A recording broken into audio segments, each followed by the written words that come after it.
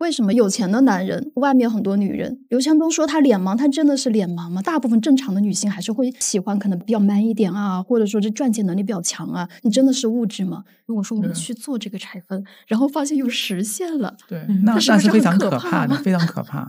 就算是呃 AI，它再怎么样进化，它可能也很难进化出直觉这个东西。也有人提问 AI 能不能预测未来，但是呢，呃，它能不能有像人一样有直觉去？判断它这这个感觉，或者是走向，或者是未来的一些东西，我觉得也是很难的。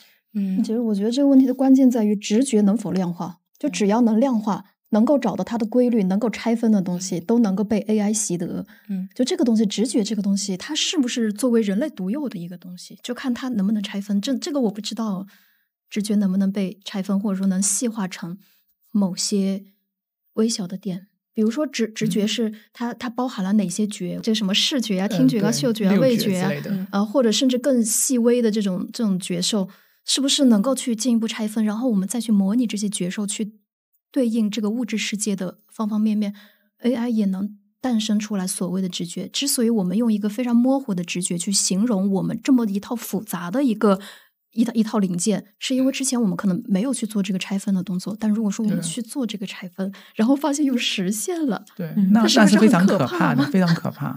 因为现在 在科学界的解释是，呃，是给直觉没有一个明确的定义啊，就是呃，当然也有一个嗯比较主流的在直觉上的解释是说，人类呃繁衍或者是生存进化了那么多的那么多年，它都是依靠直觉。其实人掌握。呃，知识掌握就是语言沟通或者是一些技术科学的历史是非常短暂的。但是人在大量的之前的那段时间，他可能是依靠直觉。比如说一个动物，它可能有直觉，就觉得什么地方有食物，什么地方有水源，什么地方有危险。这个东西是很难用科学去解释的。我觉得你说的这个直觉是可以拆分的。就比如说什么时候什么时候繁衍，那么那么适合繁衍的环境，比如说鸟择良木而栖，良木它就是。需要去值得他去繁衍的其中其中一个条件，但可能还会有其他的条件去支撑你。人类也是一样的，就比如说，就咱们聊一个话题，你什么时候会想去造人？你是去看黄道吉日吗？好像和满月是不是肯肯定不是。就比如说，你要是都加班回来就非常疲惫，你回到家，这是这这能能交差吗？嗯。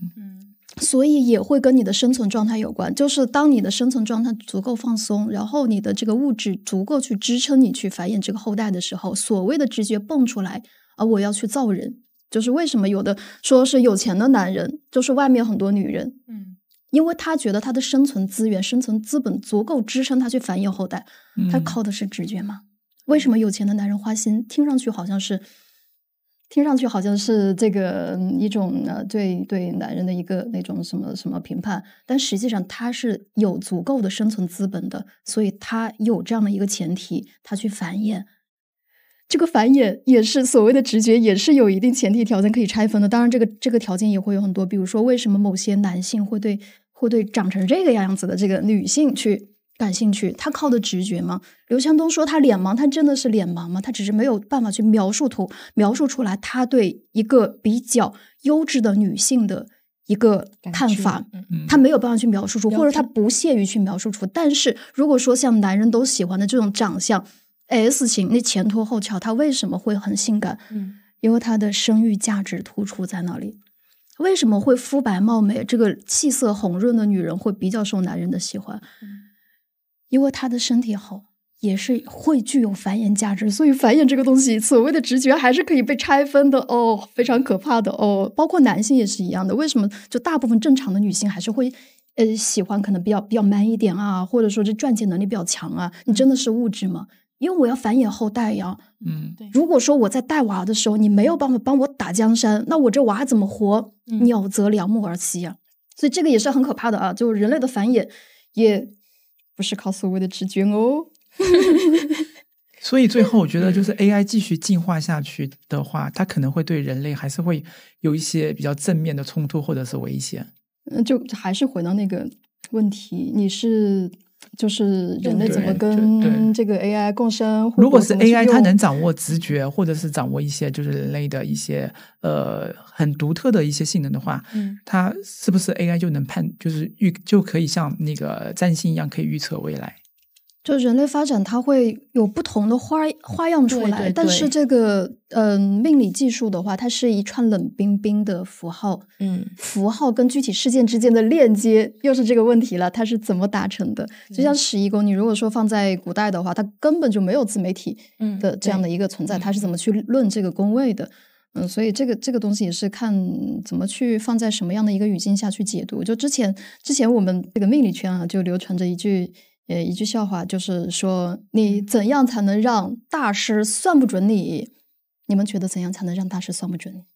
就当一个大师他足够强大的时候，他的这个所有的这个命理逻辑掌握的非常清晰的时候，你怎么去 challenge 他？就是让他算不准，创造一个大师不知道的东西。对，只要你足够离谱，超出这个大师主观的认知范围之外，他一定是算不准你的。嗯，就比如说我们算职业。之前我们讲到过那个什么凶宅试水员、大兴安岭守灵人，嗯嗯嗯，就这种职业在你的认知范围之外，那你就拿一拿拿你的盘给大师去看，或者说给一非常先进一 AI 去看，你你论一论我这什么职业的，我告诉你我之前学什么专业，我把我之前所有的事情告诉你，嗯，但是在你的认知范围内，在你的语料当中没有这样的一个职业，那一样的是论不准的，对，就是 AI 还是在做一个学习和记忆的一个动作。就是其实，如果说 AI 能够像人类一样，就模拟人类的这种学习和记忆的一个动作，那其实说明学习能力、记忆能力它并不是人类独有的。你小狗你训一训也能学习，它也能记住东西。所以，我们就是在在认知自我的时候，以前呃，可能以前的人类会认认为自己学习能力啊、记忆能力啊是人类独有的，人会是唯一能够使用工具的这种生物嘛。嗯。但实际上 AI 出来啪啪打脸。